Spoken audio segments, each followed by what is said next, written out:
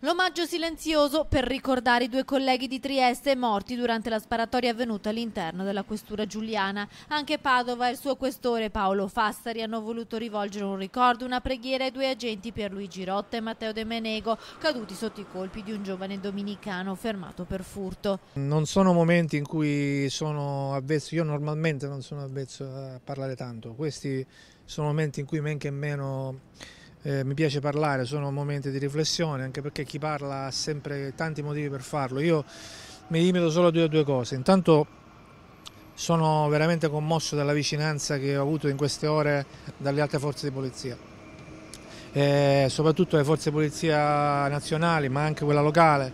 I vertici dell'arma e della finanza sono stati ieri moltissimo tempo con me a, a esprimere la loro vicinanza, ma una vicinanza sincera perché tutti indossiamo un uniforme al di là del colore. La seconda cosa che mi viene spontaneamente di dire è che, che qui eh, stamattina, e eh, credo che seguiranno anche nelle prossime ore, ci sono stati tanti cittadini che hanno lasciato un immagine floreale e lo hanno fatto, per me questo è molto importante, senza dire chi sono.